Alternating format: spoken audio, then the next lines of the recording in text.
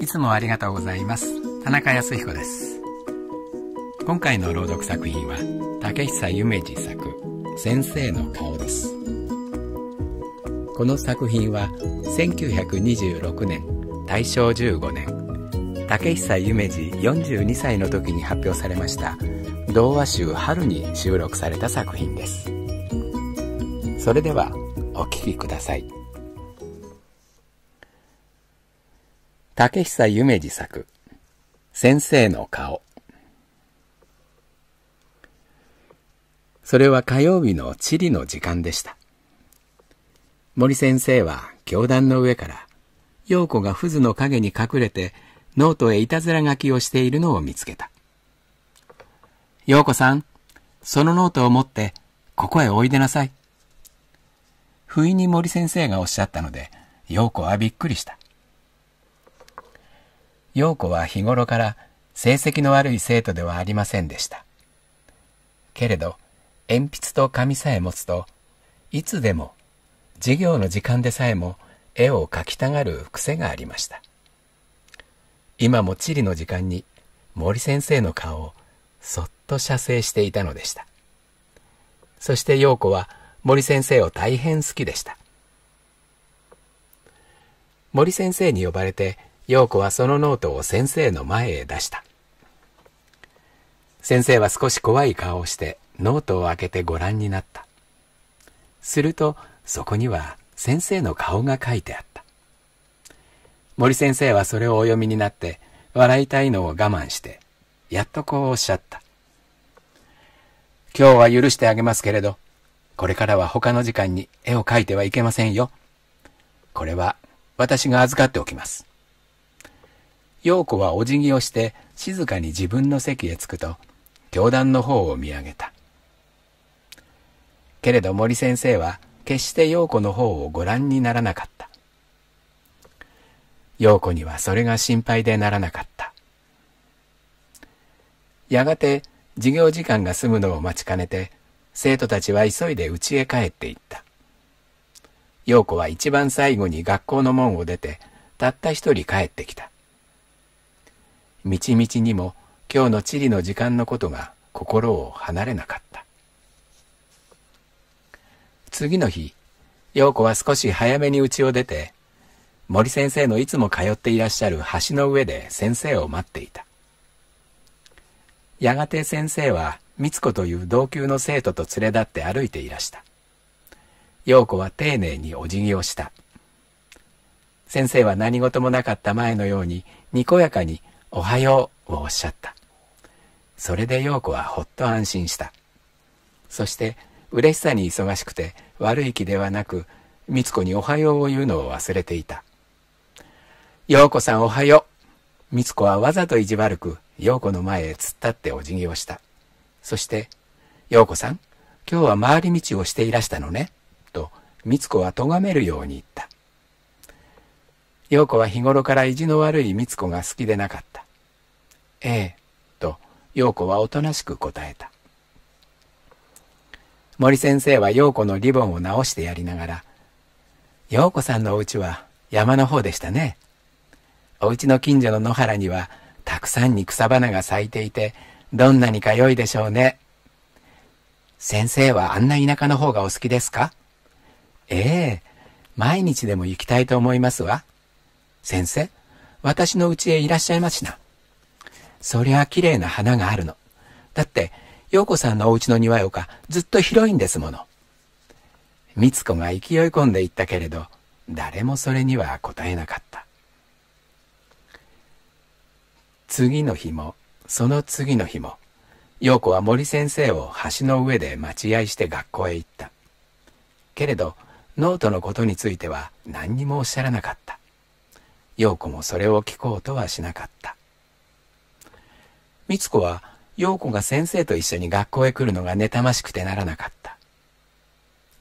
その習慣も過ぎて、次の地理の時間が来た。陽子が忘れようとしていた記憶はまた新しくなった。陽子はおずおずと先生の方を見た。先週習ったところは幾度となく復習してきたから、どこを聞かれても答えられたけれど、先生は陽子の方を決して見なかった。そして、美津子に向かって、パリはどこの都ですか？とお尋ねになった。すると、フランスの都であります。と、美津子が嬉しそうに答えた。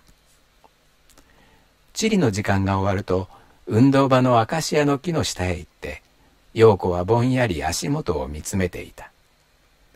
なんということなしに悲しかった。陽子さん。そう言って後から陽子の肩を軽く叩いた。それは陽子と仲良しの朝子であった。朝子は陽子の顔を覗き込んで、どうしたの？と聞いた。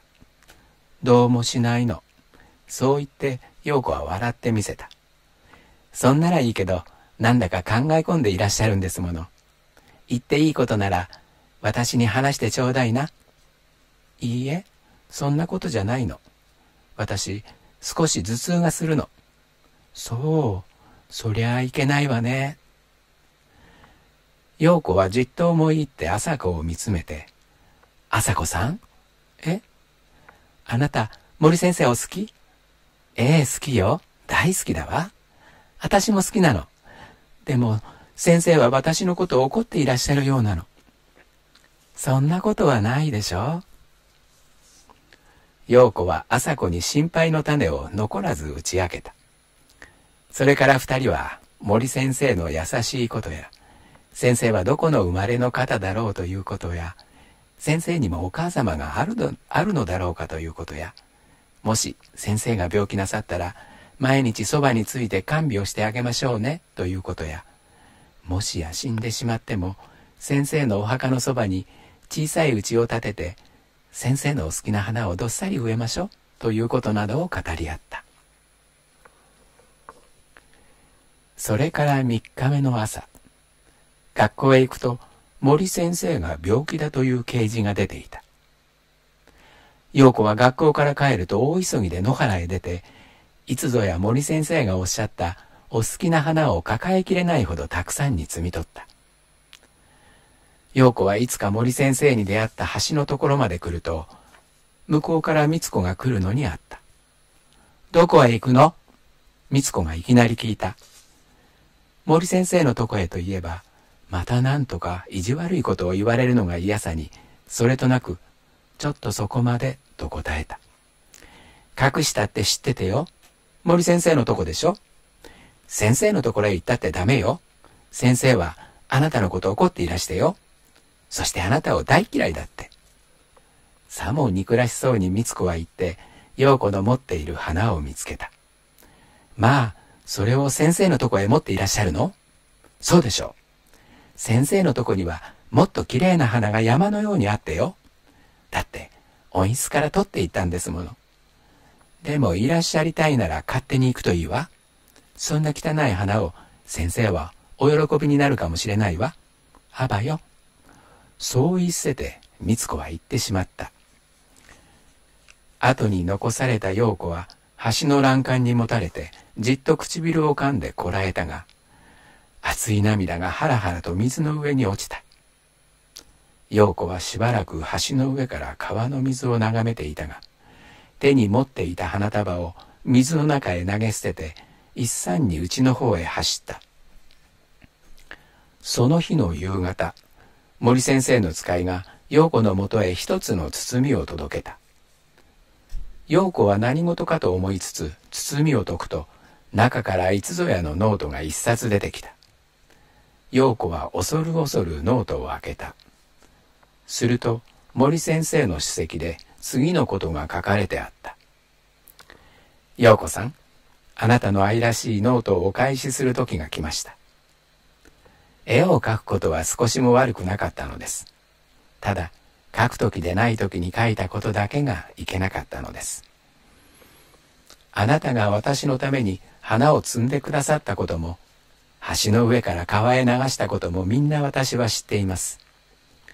あなたの心尽くしの花束は、私の病室の窓の下を流れる水に送られて、私の手に入りました。私はどんなにあなたに優しい親切を感謝したことでしょう。安心してください。私の病気はほんの風邪に過ぎません。次の月曜日からまた教場でお目にかかりましょう。陽子さん、どうぞこれからはもっと良い子になってください。他の稽古の時にも絵を描いたりしないような。そして、お友達に何を言われても、良いと思ったことを迷わずするような強い子になってください。